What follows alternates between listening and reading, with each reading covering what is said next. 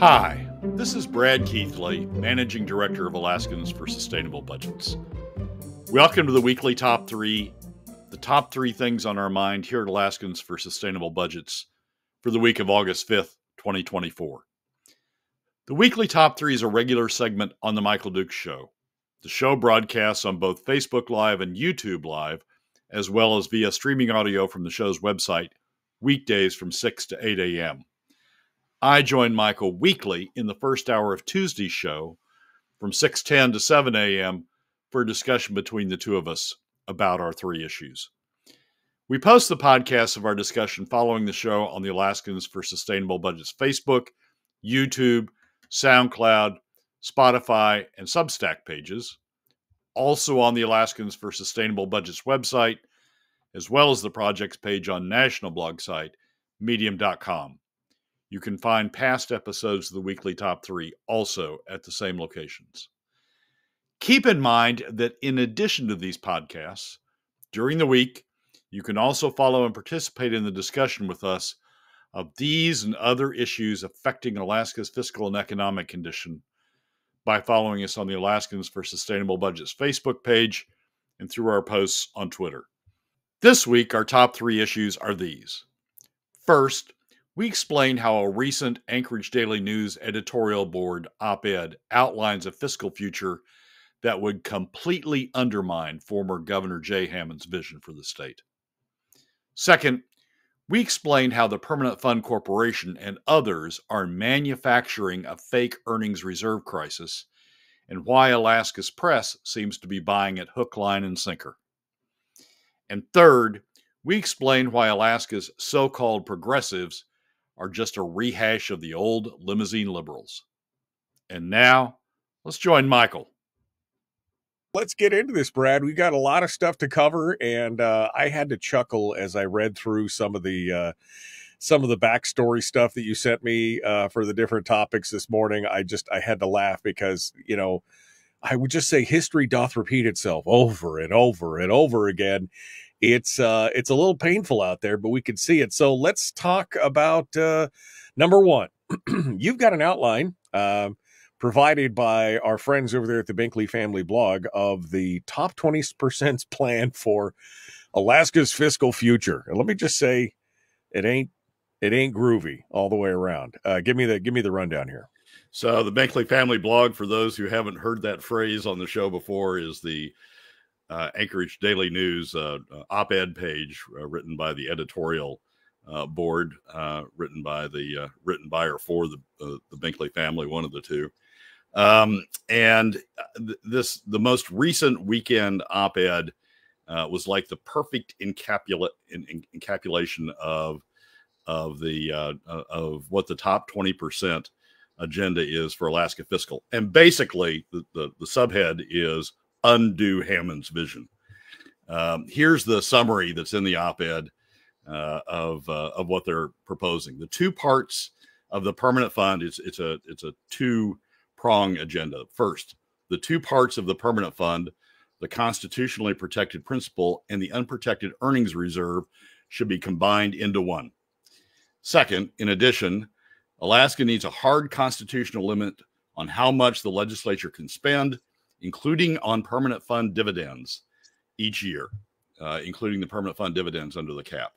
And basically, this would undo what Hammond's uh, original vision uh, was for uh, uh, for how we were going to uh, do Alaska's fiscal future. The first one combined the the two funds, the the two permanent fund funds, the the corpus and the earnings together, and the earnings reserve together basically allows and, and and let me say quickly the the the Binkley family blog doesn't disclose what's really going on here. So you got to sort of understand the backstory and understand what Hammond's vision was and understand how the how the pieces worked to to pull this together. But the first one, it, combining the two funds together, essentially opens up the corpus. Now they right. will say it doesn't because they'll say, well, we're just going to take, we're going to cap how much we take from uh, from each uh, from from the overall uh, combined uh, amount, and we're going to cap it at some at some percentage. But let's go back over the last 10 years. How'd that work for the SBR? Oh, we're just going to take a little bit of the SBR, the statutory budget reserve, to dodge to dodge taxes. And then when that was gone, oh, we're just going to take a little bit of the constitutional budget reserve. And of course, the constitutional budget reserve we have to pay back someday. So, you know, we're not going to take that much of it. Um, and and and so, you know, that that's now essentially drained. And and then it was, oh, we're just going to take a little bit of the permanent fund dividend uh, to uh, to to support government, and just for a while, we're not really going to, you know, we're not going to mess with the underlying permanent fund dividend. We're just going to take a little bit, and we're going to take it a little bit for a while, and now we're on track for the permanent fund dividend, frankly, to be to be wiped out by the by the middle of the next uh, next decade. So when you look back at history about about we're just going to take a little bit, and don't worry, there will be it, it'll be around uh, the SBR will be around, the CBR will be around, the permanent fund dividend will be around. When you look back at history, you can see what's happened. It's it's it's been you know we're going to creep it open a little bit, and uh, and and just take a little bit for this emergency situation, uh, and then you know basically it's gone. Now it's going to take a while to drain 60, 70 billion dollars, but we drained 20 billion dollars out of the SBR and the CBR. Mm-hmm. Mm-hmm in the in and and and counting what we've taken out of the permanent fund dividend, we've drained twenty billion dollars in just the last decade. So you think sixty billion dollars is gonna is gonna take a while, uh, but it's not really. It's well, gonna, there's, a compounding really there's a compounding problem there too, right? So for every twenty billion dollars that you take out of the fund, you essentially remove twenty five percent of its earning potential, twenty to 30% of its earning potential. So it just accelerates the problem because then the returns are less in those coming years. So you have to draw more. The more you take, the more you have to draw because the, re- the returns are lower. And so it's an it wouldn't be oh 20 billion a year so we've got 30 years or 20 billion a decade so we got 30 years. No, no, no. It accelerates every year because you're reducing the seed corn. So it could be in as little as 20 years, 15, 20 years, because all of a sudden you're sucking away all the generation power out of it. And and people will say, "Oh no, we won't do that." Just like they said, "Oh no, we won't do that to the SBR or the CBR or the permanent fund dividend." Oh no, we won't do that. Don't worry about that. We recognize that we have an obligation to future generations. Well, the CBR is all about future generations. Frankly, the PFD is all about future generations. And and we're draining both of those. And why are we doing that? because we're so desperate to avoid taxes uh, as a revenue source that we'll just drain everything else um, uh, that that we can argue aren't taxes uh, uh while we're while we're doing it. So um, I don't have a lot of faith that that when we get to the outer range of of starting to really you know rip into the permanent fund corpus that that people are going to say, "Oh, future generations, no, no, we're going to keep hands off. We're going to we're going to now have taxes on ourselves."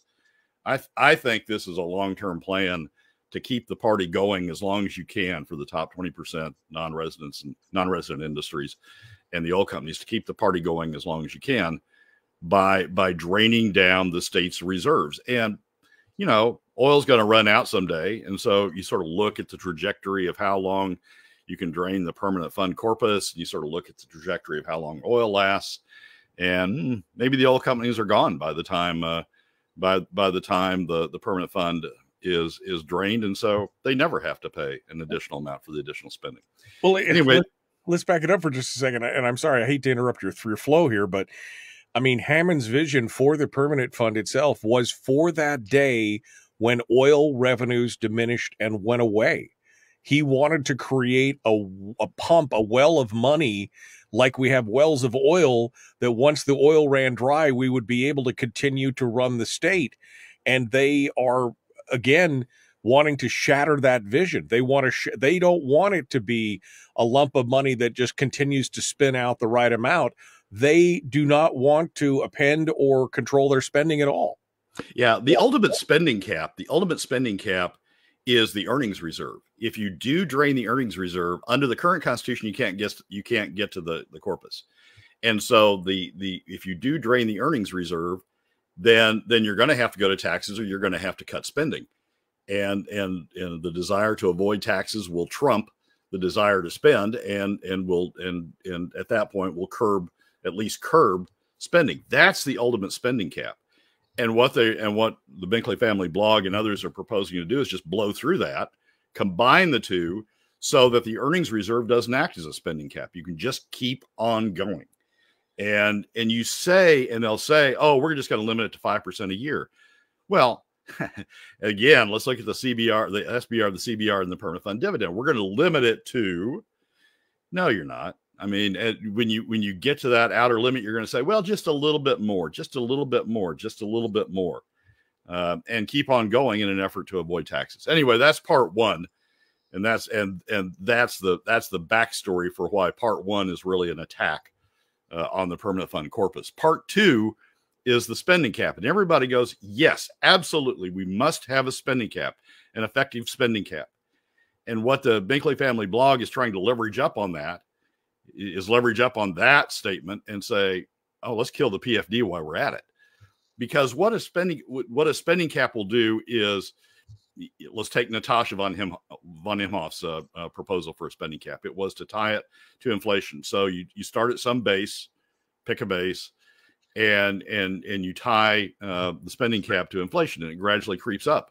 Well, let's look at other revenues. Oil is at best, according to the latest Department of Revenue uh, uh, forecast, is at best stabilizing, and probably if some of these fields don't turn out to be as as as prolific as as people think they're going to be probably we'll start back on the decline or oil prices may go down we'll start back on the decline so, what's the grease between the two? You have rising spending, you have declining oil revenues, stabilized or declining oil revenues. What's the grease that's going on between the two?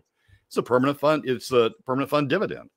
So, when they talk about let's have a spending cap and include the permanent fund dividend inside the cap, what they're really saying is let's make the permanent fund dividend the grease that will that will that will fill that gap between spending um, and and stabilize or declining revenues as long as as long as the permanent fund dividend lasts. Then we'll kick into phase two and go after the corpus. Uh, but it's but it's not, you know, the spending cap sounds good. It sounds like something we should all support. But if you're if you really focus on what Hammond's vision was, which was to have the the permanent fund dividend be a portion of the state's wealth, a portion of the state's earnings going to directly to the state citizens, um, if you really focus on that vision, what that what the spending cap is, the way they and Natasha define it is a way of gradually using up the permanent fund dividend without saying you're doing it. Right. If you want a spending cap, just as the fiscal policy working group said, if you want a spending cap, it needs to be part of a comprehensive solution that includes uh, protections for the permanent fund dividend. Well, and there's different types of spending caps, right? I mean, that's the thing. There's a, you know, the how the spending cap is constructed is just as important, if not more important, than actually having a spending cap. Uh, because if you include the PFD underneath there and everything else, it bulks that up. Um, and it's like that last minute rush at the end of the year with all that state money. If we don't spend all this money, we won't get the same amount next year, kind of thing. It's that same kind of mindset of, uh, we've got to bulk it up as much as we can before that spending cap kicks in because the, and so they include things like the PFD underneath of it, and that blows the whole purpose of the spending cap out of the water. Yeah, exactly right. Exactly right. Including uh, uh, you, you, you, you hit on another point about this, including the permanent fund dividend under the spending cap increases the base amount. So it's inflation on top of an increased base amount, and and the permanent fund dividends in there. So it's just more and more grease that uh, that they can right. use to, to and this, spending going on. this on. is what we saw in Will Stapp's proposal for the income tax, which was fine right up until the end when they stuffed for the, the PFD for the, for the spending cap. You said income tax. Will Stapp's proposal for the spending cap. I apologize for the spending cap. Yeah, but it was the same thing, right? It was great right up till the last minute where they're like, "Oh, we'll shoehorn the PFD underneath there," and all of a sudden, now it's become eh, not only irrelevant but dangerous at that point. Ron actually because I was thinking about this as Brad was talking about it, and I'm like, these people, you know, who these people, why would they do that? Why would they? And Ron actually brings up the perfect point. How many legislators who are taking the dividend will be in office in 20 years, or for that matter, will still live in the state? And that's a viable question. uh, because I mean that's I was thinking, why would you do this? Why would you do this if you know the state is going to be upside down and underwater deeply in 20 years? I mean, no no more than 30 years, but 20 years. How why would you do that? And they're like, well, because they'll probably be dead, right, uh, or gone, or moved out of state, or it won't be their problem. And I'm just like, how could people be so short sighted? How can they not care about the future of the state enough? And I guess we're going to get ours and everybody else will have to live on what's left or yeah it's it's essentially i mean it's alaska's history right people are mining the state they're they're yeah. mining they're they're they're they're scraping the state taking all they can strip mining yeah strip mining and then go and then going someplace else and we usually think that and think of that in the context of minerals or or to some degree we think about that in the context of oil but it's also true in, in the context of another asset the, the the permanent fund asset and they're and they're gradually strip mining the benefits of the permanent fund the dividend and the and the life and the permanent nature of the fund. They're gradually strip mining it because they want to avoid taxes on themselves while while they're here. Accumulate more wealth for themselves and then take it you know someplace else um, or enjoy it while they're here and you know let the future fend for itself. But it, it is it's a it's a form of strip mining. It's a form of strip mining. I mean we're familiar with strip mining uh, minerals. We're familiar with strip mining oil. It's a form of strip mining the the the state's fiscal asset and uh, you know and just add to that how about uh, how about the clear cut logging it's the same right right it's the same concept we don't care what happens to any of this we want the we want the the the resource the materials the logs or whatever if a flood comes in and wipes out the hillside because there's no more tree we don't care we're we're not going to be there anymore anyway. So let's just go ahead and do it. Uh, it is the most short sighted uh, thing that I could think of. I mean, it's it really is the greed, right? I mean, that's that's really what it comes down to. Is it it is a, a, a snapshot of the greed and the entitlement is astounding to me. I just don't fathom it. I mean, that's exactly what it is. I mean, I want my program. I want things to be set up the way that I want. I don't want to pay for it. Uh, I want to keep as much of my money as I can, and then I'll go wander off in the pucker brush when it comes time to retire or whatever. But at least I got mine. Yeah, it's um, uh, it, it. I mean, Hammond really thought through this stuff. If you if you think about this, deeply enough and think about through what he was trying to do, you really understand that he that that these two pieces, the the the protecting the corpus, the permanent nature of the corpus, don't allow attacks on the corpus, and the permanent fund dividend. Uh, as a way of providing, you know, the state citizens a direct benefit of the state's mineral wealth, those two pieces were were genius, were fiscal genius and and what we have is a select group of the state who figured out a way who figured out that they can prolong their you know their their good times their party their no taxes party uh, their spending and no taxes party uh, both pieces go together they can prolong it if they can just get access to the corpus and just cut and just eliminate the permanent fund dividend and convert the permanent fund dividend over to their benefit by covering taxes they otherwise should be paying for the increased spending. Um, and and so they're undoing both pieces of Hammond's vision. They won't say it. They don't say it. In fact, they claim to still be still be pursuing it. But but that's exactly what they're doing. They're undercutting both pieces of Hammond's vision. Brad Keithley, our guest. Uh, the weekly top three continues. Alaskans for Sustainable Budget. You can find them at ak4sb.com, on Twitter, on YouTube or on uh, yeah on YouTube on Facebook. Uh, uh, he's everywhere, and of course, don't forget to catch his column in the Alaska Landmine uh, every week. He's got the chart of the week uh, com uh, uh, thing going on. All right, Brad. So number two, we just talked about the top twenty percent overall plan, and now we're going to talk about the. You say the fake fiscal crisis. We do have a fiscal crisis, but they are spinning it in a completely different way than what uh, how I see it and how you see it. Go ahead. Well, yeah, yeah. Um, so the the whole predicate for the ADN editorial for the Binkley Family Blog editorial was that we have a crisis with the permanent fund earnings, And so we need to do something, the earnings reserve. So we need to do something to, to attend to that crisis. And that is collapse the, uh, collapse the two accounts into a single account. And then let's add on this, this, this spending cap that includes the PFD uh, as a, as a, as an additional step. But the whole predicate is we have a crisis we need to do something about it. Well, the crisis is this claimed uh, crisis of running out of money in the permanent fund earnings reserve. And that was captured this past week by an article that uh, James Brooks did for the Alaska Be- Beacon that then got repeated throughout other papers in the state. The headline was New Alaska Permanent Fund Reports Show Fiscal Crisis Growing Closer. And that is the crisis that the claim crisis that the permanent fund earnings reserve is going to be drained. You know, as I read that story and as I read a couple of other stories, Jack Barnwell did one up at uh, up in the Fairbanks News Miner. As I read those stories, it dawned on me we don't have a financial reporter in this state.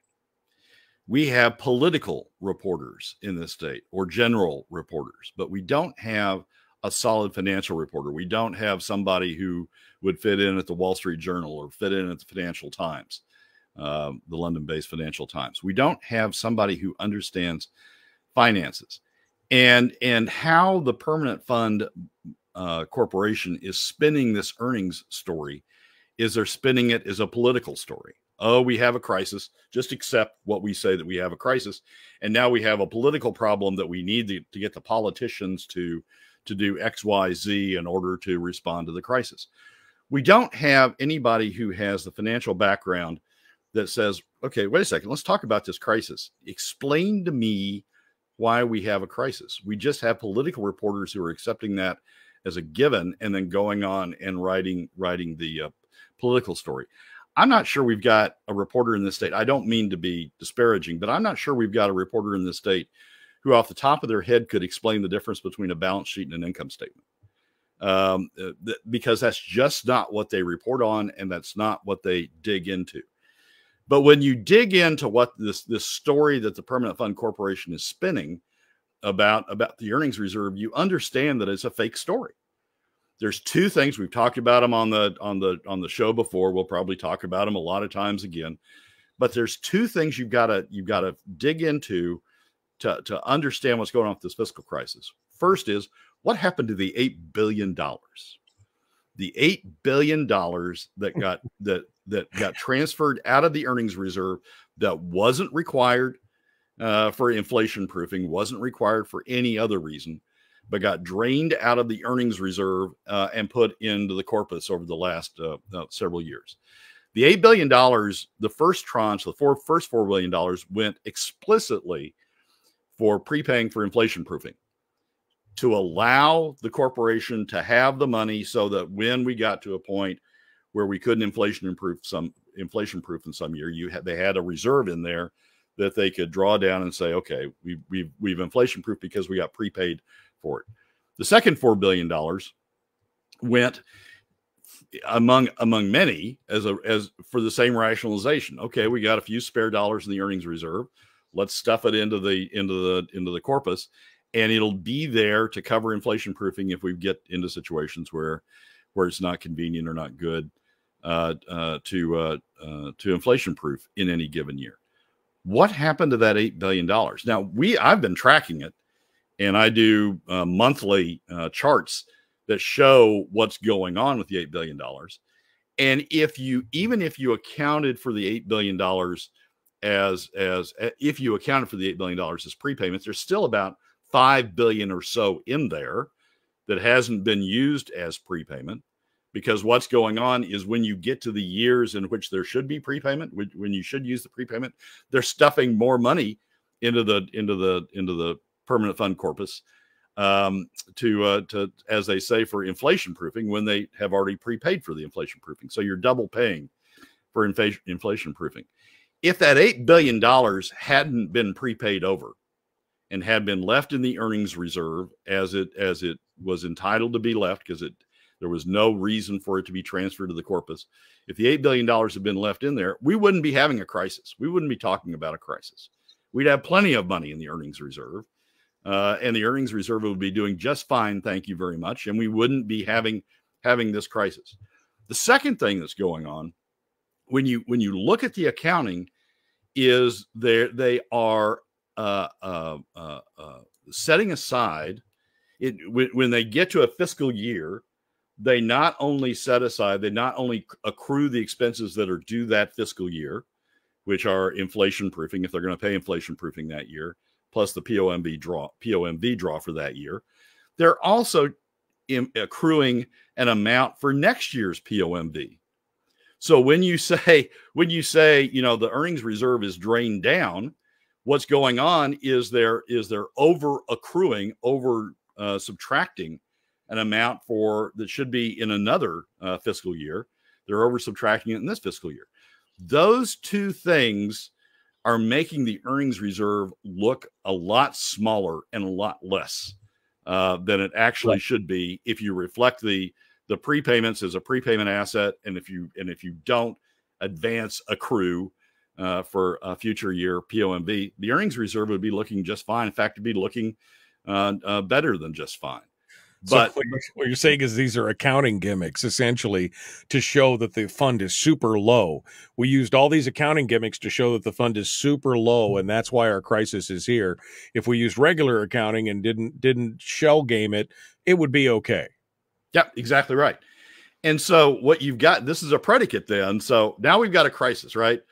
Because we're because the 8 billion dollars has suddenly disappeared off of the prepayment books and because we're over accruing for POMV by including the future year's POMV in the current year, all of a sudden we've got a crisis. I mean, if you drain an account enough, if you take enough out of it, if you if you don't show the assets in it, you can make it look pretty bad. Um, and and that's what's going on here. It's a setup then for the ADN and others claim is, oh my God, we got a crisis. So now we need to merge these two accounts together to deal with this crisis. And guess what? That's backdoor access to the corpus. Um, so it's it's a it's a well thought out. I'll give them. I'll give those who are engaged in this that it's a well thought out plan uh, to create a crisis. And and and and we've got the state's political reporters because we don't have any financial reporters who can dig into this and understand what's going on. I haven't seen one question about what happened to the $8 billion. I haven't seen one question about why are you double accruing? Why are you accruing future years POMV draws uh, in, uh, in in the current year? I haven't seen one question about that. They're just the political reporters are just accepting as given whatever pablum the the the, the permanent fund corporation spits out and says, "Oh well, okay, well now we have a political crisis because we need to we need to do something." And I, and I, James Brooks, and and and I, other reporters in the state, I understand political crises. I understand how to report on political crises. So once you tell me that you have a financial crisis, and I don't have to think about that because you've told me there's a financial crisis, I can go write, you know, stories after story after story after story about the about the uh, about the about the political crisis that that flows from that. It's a setup, and it's a setup for things that that then show up in the ADN. We have to merge the two accounts together. We have to drain the PFD well, by, inclu- by including it under the cap it's parroting, right? I mean, we've seen this now. The Bert Stedman's talked about it. The permanent fund boards talked about it. All these different, you know, oh, oh, it's a, and now the newspapers are starting. It's the same thing we saw in the education thing, right? Oh, we flat funded education. Never a deeper analysis of what that is, of what the true dollars were, of the fact that we spent over the BSA. None of those things. It just became a talking point, and the journalists in Alaska have not been digging deep enough in a non-biased way to get both sides of the argument to to figure it out. So they're just basically parroting what they're being told. At this point there's a fiscal crisis and we need to combine the accounts. That's the talking point. Yeah and and and michael i don't want to i don't want to blame the journalists in the sense that in the sense that you know they're, they're not dig well I, I, do blame that they're not digging into it but they're not we don't have journalists who have the background to dig into it. We don't have financial journalists with financial background to dig into it. I'll say the two best stories on the permanent fund board shenanigans the two best stories on ellie rubenstein and the and the joke that that that that created with the permanent fund board they showed up in the financial times the two best the stories that had the best quotes that did the, the best analysis of what was going on were in the the Financial Times because because David Rubenstein was involved. Ellie's dad was was was implicated in in all this. So the Financial Times picked up on it. But but those are the those were the stories that really I think ground into the ground into the situation and did the best reporting on it. We're just we don't have that. I mean, because Alaska is such a political state, um, and frankly, because you know there's there's probably not a whole lot of people who want to read about about uh, balance sheets and income statements. We just don't have the financial reporters, and and the permanent fund corporation is taking advantage of that the adn the binkley family the, the the rest of the people who are pushing for these proposals are taking advantage of that because we don't have the financial reporters there uh, to dig into it brad keithley alaskans for sustainable budgets final thought brad on number two before we move on well we need somebody. I mean, it, this may be a plea to the editors, not to the ADN, because they've already set their course, but maybe the Alaska Beacon you need financial reporters. You need people who come at these stories. These are financial stories. Alaska is now a financial state. We're now living on the permanent fund court. We're now living on the on the on the permanent fund. You need financial reporters. You need people with financial backgrounds to dig into the claims that the permanent fund board, the permanent fund corporation is making to understand them and to and to probe them and and ask questions about the eight billion dollars and to ask questions about the double the double accrual that's going on for POMV. I'm going back here because Donna uh, made a made a comment that I was like, "Here we go." Dunleavy should have vetoed the $1 billion inflation proofing. He and his permanent fund board and Bert Stedman are creating the crisis. And uh, I mean, that's it. it. This is a manufactured crisis. We've been talking about this for the last few months especially since the Permanent Fund Board put out that white paper about combining the two funds. Uh, and you're right, we had eight billion dollars in inflation proofing. Why didn't Dunleavy just didn't? Why didn't he veto that extra billion dollars? That would have short circuited this whole discussion at that point because then it wouldn't be overdrawing the fund, right? I mean, there'd have to be some other kind of argument in there, but he's played either played right into the hands or is part of the whole thing at this point. Yeah, it's uh, Dunleavy sort of odd has been an odd character throughout all this. You remember the the four billion dollars that he that he said he vetoed that didn't actually get vetoed.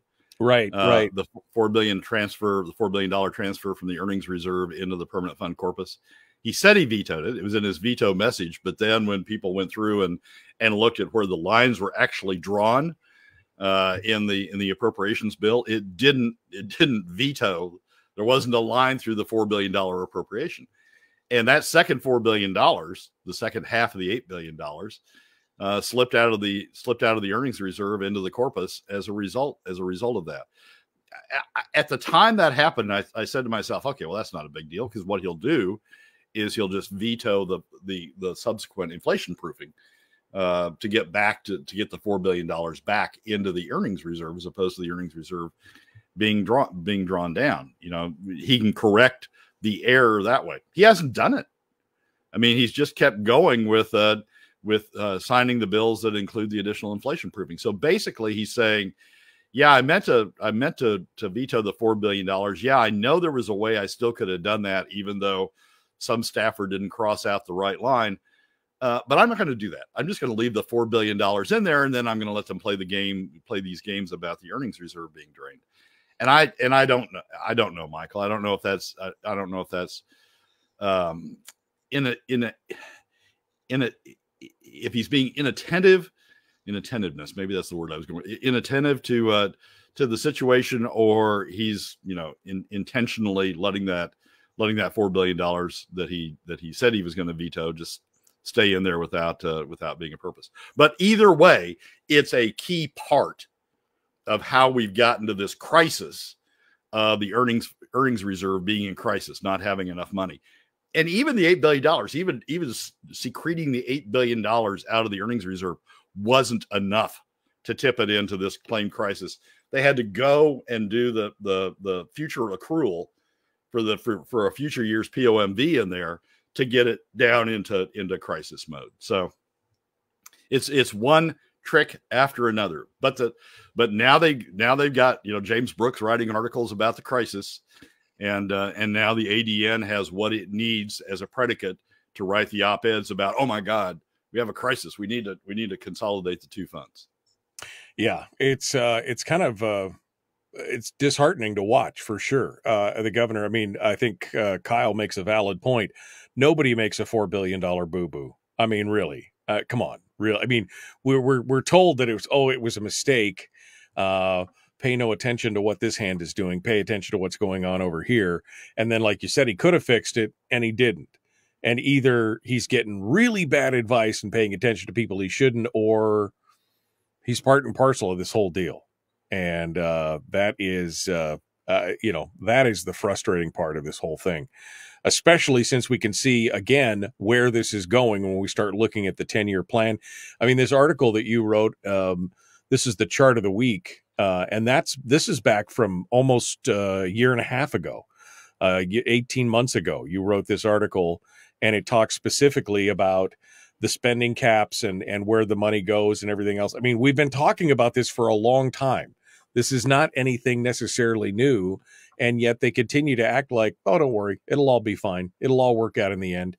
Too big to fail. And we won't be here when the when the when the mushroom cloud goes up, we won't be here anyway. So it'll be fine. When the meltdown happens and the reactor goes critical, we'll be in some other state doing our thing with our money that we got out of here on the way out. I mean, it's it's just astonishing.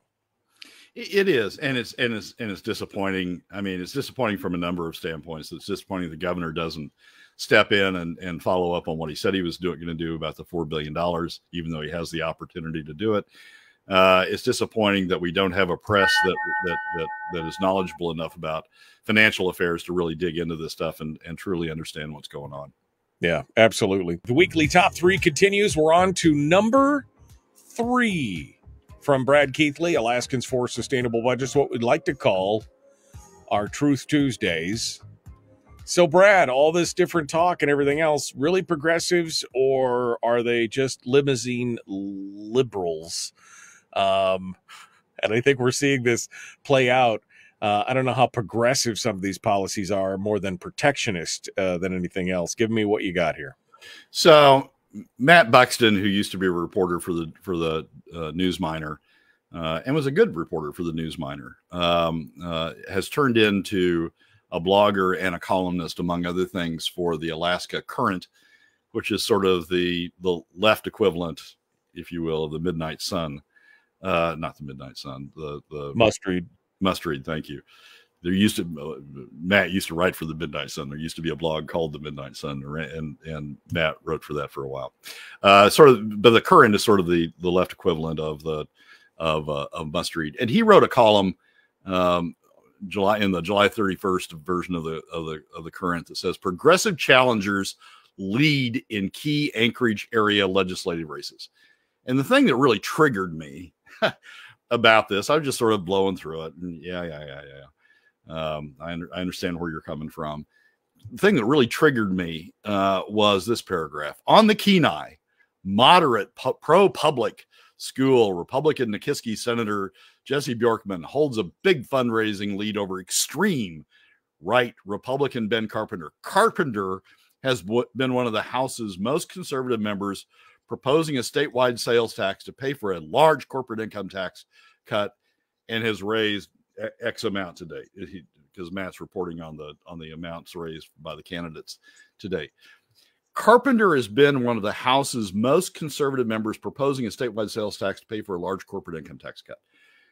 Well, a portion, a portion of the sales tax revenues that was that was in Ben's bill, Ben's sales tax sales tax bill. A portion did go to reduce the corporate income tax down to competitive levels, so that Alaska no longer has among the highest corporate income tax rates. It has one that's competitive, not low, but one that one that's can one that's competitive. But that was only about 30%, 35% of the revenues. The other, the remaining 65 to 70% of the revenues went to replace PFD cuts, went to be substitute revenues for PFD cuts. There is excuse me, Ben, you probably don't want me to say this, but there is nothing more progressive in the world than using taxes to replace PFD cuts. It is, it is, you're replacing an extremely regressive tax in the form of PFD cuts with a still regressive, but much less regressive um, sales tax. And, and in the relative scheme of things, if you re- replace something that's extremely regressive with a with a less regressive tax, you're being progressive. You're you're you're moving in a you're moving in a in a progressive fashion.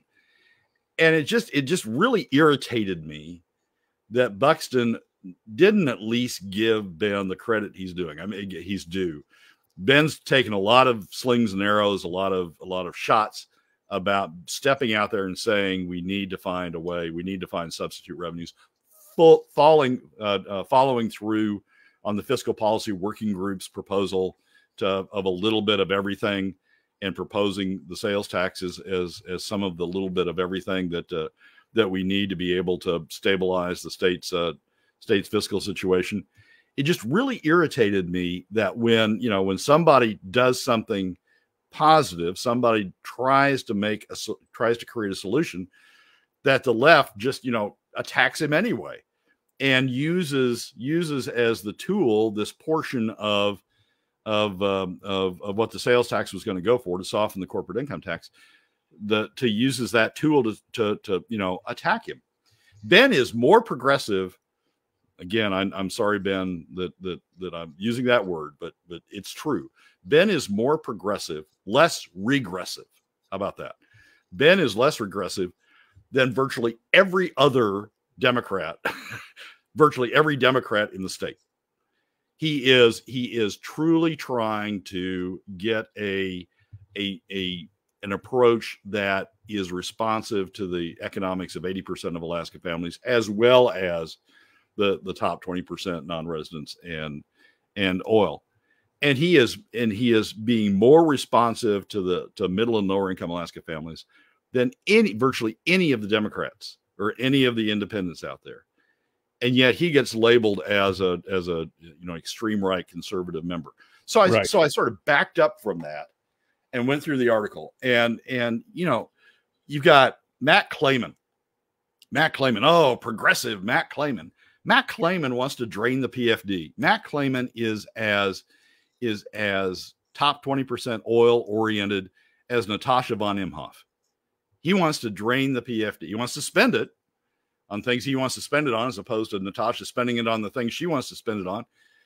But but he wants to spend it. He doesn't. He he wants to kill the PFD and drain the PFD and use it use it for spending. That is, as as as Matt Berman put it, ISER economist Matt Berman put it, that is the most regressive tax ever proposed. Not not just the most regressive in the states, it's the most regressive tax ever proposed. And and yet Claman's right out in front of that. Zach Fields, another one, you know, another another person that gets mentioned in in Buxton's article. Zach Fields, oh, progressive. They're they are the most regressive legislators that that you can find out there because they're pursuing they're pursuing PFD cuts. And you get somebody like Ben who who is being reasonable about it, trying to walk down the road of the fiscal policy working group, and he gets excoriated for it. So it's just, I mean, w- what we've got, Matt Claman is the perfect limousine liberal. You know, spend money, spend it on my program, spend a lot of money, spend it on education, spend on this, spend it everywhere, but just don't tax me for it. You know, take the money out of the hides of of, of middle and lower income Alaska families. Just don't tax me. Just don't make me pay for it. Pay, make everybody else pay for it.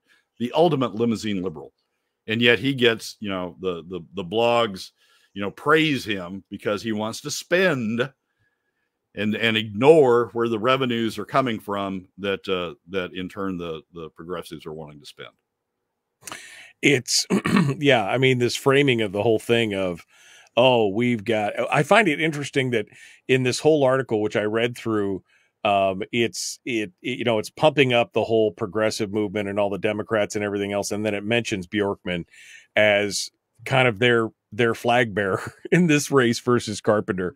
Um, and uh, you know th- this has been part of the problem is that they are you know championing all this whole idea of spending, spending, spending, without ever asking the question of who pays.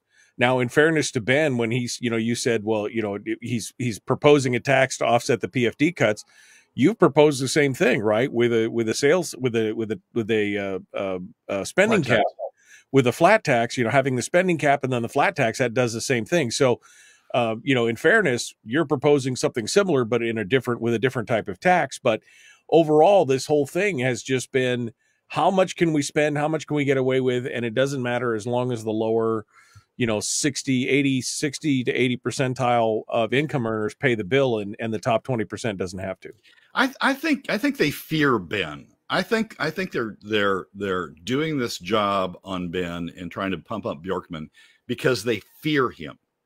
They they they realize I think he understands what the situation is. And he understands that it's going to take some sort of other revenue source, more broad-based revenue source to deal to to to deal with the deal with the PFD issue to supplant the PFD cuts as as the revenue source. And I think they fear that he's able to articulate this in a way that that makes middle and lower income Alaska families understand the problem and understand that this is that this is part of the solution. And I think they're going out of their way to to to to you know to to use things to try to to try to pump up Bjorkman and tear down Ben because they fear what he's what he's able to do. And then they and then they throw in the stuff about Claman and everybody else about how progressive they are. They're progressive because they just want to spend. They're not progressive on the revenue side. And and there's really no one on the on the on the Democrat or independent side who is progressive on the revenue side. They just all want to spend and they all want to take it out of middle and lower income Alaska families.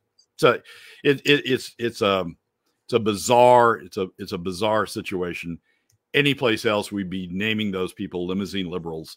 Uh, but yet, you know, the progressive blogs don't want to do that because they don't want to undercut the spending. Right. And, and you do look at the amount of money that's coming into these races. Um, and in many of these races, he does point out, and this was the downside for me, that it's usually a two to one, if not three or four to one fundraising advantage to the Democratic candidates, which is unfortunate. Uh, down to the last 20 seconds here, Brad. Quick thought. You look at at who's who's supplying the money. It's Jim Jansen and others in the top 20% that want to keep the the the top 20% Democrats in place. That's the thing. You look at where this money is coming from, and it's I mean, it's shocking. Matt Claman has outraised um, has outraised Mia Costello 17 to 1. Tom McKay, they, they switched in that race. Oh, and, and Tom McKay, you know, sw- swapped out as well. And McKay is still, I'm sorry, yeah, 144,000 for Claman, 20,000 for McKay. Um, who's the one that had uh, Tom, uh, Denny Wells? Sorry, Denny Wells, $140,000. Mia Costello has raised just 10,000.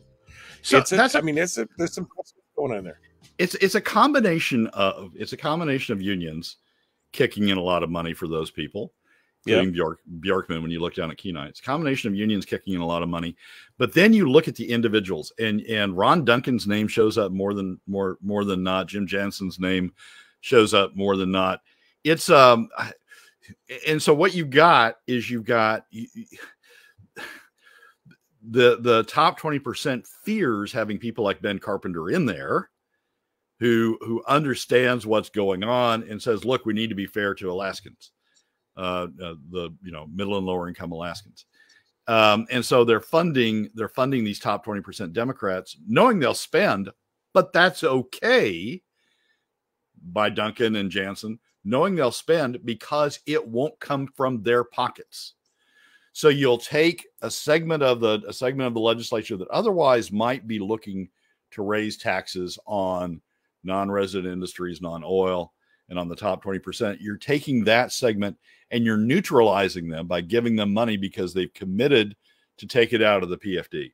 It's a it's a it's an interesting game uh, that uh, that that you know the the top 20% are are are engaged in uh, interesting donations uh, uh, being given on their side. But it's leaving Republicans, it's leaving conservative Republicans sort of behind the eight ball in terms of in terms of less money. Brad Keithley, Alaskans for Sustainable Budget. So sum it all up for us, Brad. Here, bring it all bring it all back for all three of these today. Um, you know, tie them all together. What are we looking at? I mean, we're looking at a state that uh, has an artificial crisis. You know, how can we get our hands on the big pot of money? Uh, we've got all these progressive uh, ideas that are, well, you know, really regressive more than anything else. Give me the, give me your summation here. A couple minutes. Well, I, to me, Michael, what's going on is we have people who are, who are, who are thoughtful enough that they've thought through a way to get to the permanent fund corpus. Um, notwithstanding, you know, the fact that everybody says, "Oh no, we'll never touch the corpus," they've thought through a way to get to the per- permanent fund corpus, and it's sort of sometimes as a lawyer when you're when you're when you're putting a case together for trial you start with the end result. I want the jury to do this. How am i going to persuade the jury to do this? How do, what's the steps i'm going to have to go through to get to the point where the jury finds x or the judge finds x at the end of the case? And and here the game is how are we going to get our hands on the permanent fund corpus so we never have to pay taxes? Okay, well, we need to combine the two funds so we can start draining the corpus uh, when the earnings reserve is no longer sufficient to, to fund to fund government. And you back up and you go, well, we need to create a crisis then that that that that says this is how this is why the two funds need to be uh, put together. And then you sort of back up a little bit and okay, so how do we how do we sort of get at the permanent fund dividend. Well, we create a crisis and we need to get at the permanent fund dividend. We continue spending, but we don't want to pay taxes. And so, how do we elect legislators that are going to allow us to do that? Well, we support Democrats who otherwise might come at us and and and support them in their efforts to raid the permanent fund dividend uh, so they can continue spending. Even though it's continued spending, at least it's not on our dime. We're protected from it. It's coming out of the permanent fund dividend first, and then it'll come out of the permanent fund corpus later by overdrawing that. So it, it's a, I mean, from a from a lawyer standpoint, if you look at this as preparing for trial, it's a great game plan. If you're if you're dry, if the end conclusion you're trying to drive at is get into the permanent fund corpus and drain the permanent fund dividend to avoid taxes on the on the on the way there.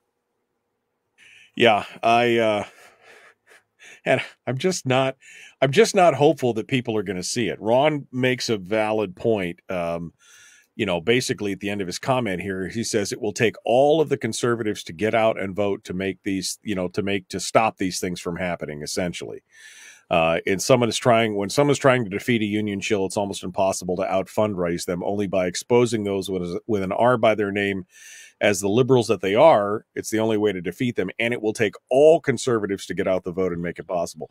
That's part of the problem is that kind of this conservative voting block, a lot of people are just kind of throwing their hands up in the air and that's that's the challenge here how do we bring those people back to the table?